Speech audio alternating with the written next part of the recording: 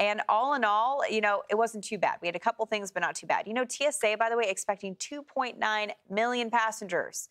That's a crazy amount of people. I mean, they say it's the busiest travel that we've seen for this season since 2001. Yeah, that's 20 incredible. years.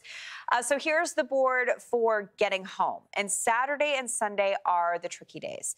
And Sunday is probably one of the busiest travel days of the entire year. Some would argue it's a bigger deal than Wednesday, but I always say if you had to go on Wednesday, of course you had to come back. And many of you probably are going to pick Sunday. Uh, looking at the conditions that we have on the board, probably the things that pop out to me up front, Jane, is Chicago.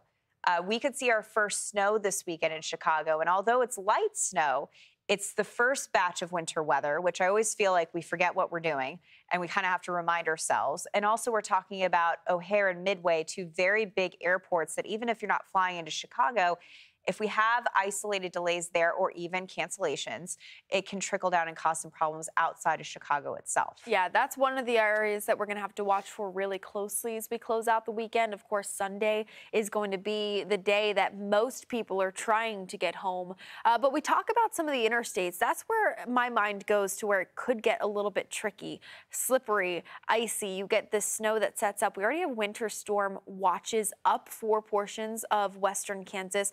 Nebraska. So keep that in mind. If you're looking on your Fox Weather app and you see that little alert signal, read in, read up on your forecast for your area, what that looks like, what you should be traveling with, because it is going to be a slick ride and you could see visibility dropped at times, especially with this system kind of getting its oomph out of the plains. We're going to see those winds pick up.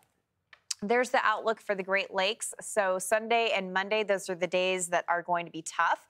So if you have wiggle room, especially uh, considering that many people drove, I mean, AAA said that the majority of travelers, yeah. even though we have 2.9 million for TSA to check in so and check think out, how many people yeah. are going to visit somebody. You know, it's yeah. just incredible. So think about your travel. And if you did drive and you have some wiggle room, Saturday's the best day for the Ohio Valley. And then otherwise, if you miss that window, I would say maybe think about holding off until Tuesday because then you're completely in the clear. And who doesn't want an extra day with their family? Yeah. You know, good way of thinking about it. By the way, as the storm reaches the East Coast, it loses its punch. So, yes, we're going to see rain across the East Coast, but we don't have as much of a snow component. And also, the storm itself doesn't look as impressive.